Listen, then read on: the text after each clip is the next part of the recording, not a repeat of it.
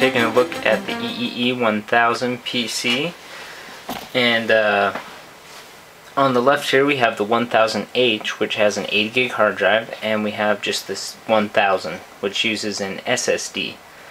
Um, upon first glance outward appearance are pretty much the same. The 1000H comes with a Windows XP sticker and a Dolby Digital sticker. Um, the 1000 just has the Atom sticker. Um, this is the Linux version. Um, outward appearances, the 1000H is actually, you know, the, the bezel here is quite a bit thicker than the 1000 about by about a half an inch. You can see it sits a little bit higher. Um, so the first thing we're going to do is do a boot up test, see which one loads quicker and uh, then we're going to take a look at how fast it loads web pages, how this SSD compares when you're installing programs, when you're browsing, um, and take another look at a few different things. So I'm going to boot these up at the same time um, on the count of three. One, two, three.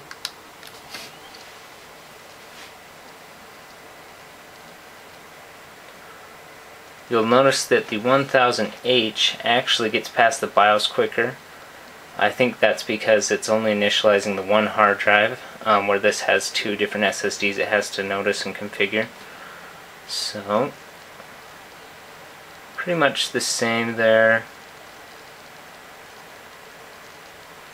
You know, almost identical, even though this has a hard drive and this has an SSD. So, you saw it here, 1000 versus 1000H, pretty much the same performance. Um, so the next thing we're going to do is look at web page loading time.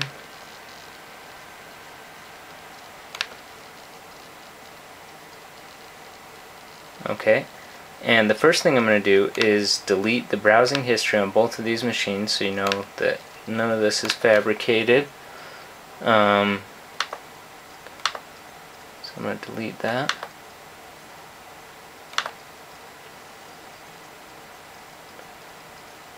Okay.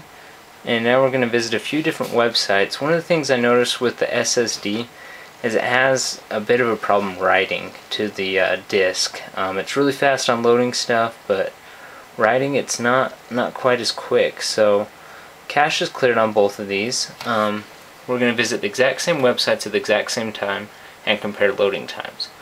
So I'm going to click the first website. One, two, three.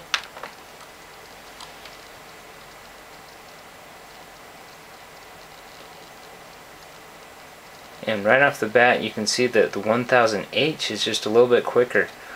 Um, you know and my theory on this is that the uh, 1000 has to use that SSD to cache the files and its write speed's a lot slower than its read speed.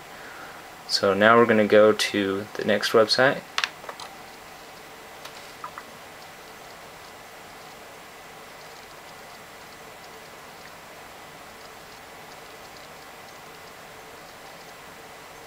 So about the same. Not too much of a difference there. Now I'm going to go to another website which is on the EEE User forum and it has a bunch of wallpapers on it which you know may take a longer time to write to the hard disk. So I'm going to click on that and I'll watch on the bottom here. The left side is downloading two items left one item left done and the right one just finished. So about the same. Now we're going to both head to the another website Newgrounds. One two three go.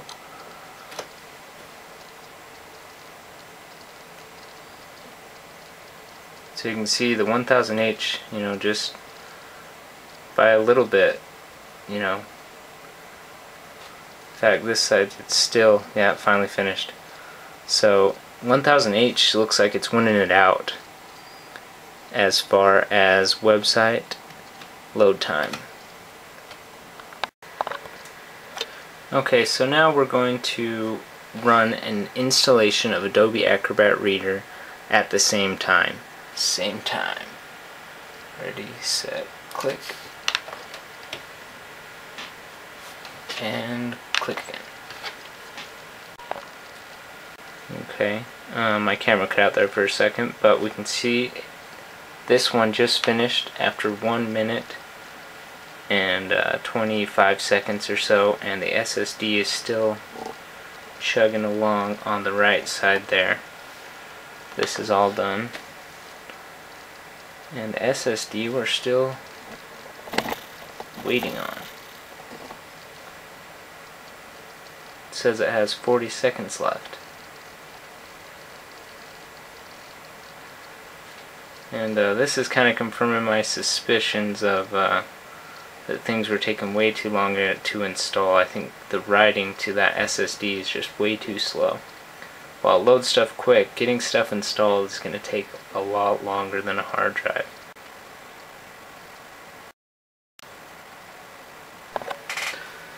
Okay, so uh, it finally finished at 307.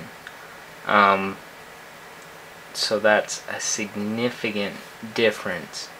Um, the SSD is great for loading stuff pretty quick.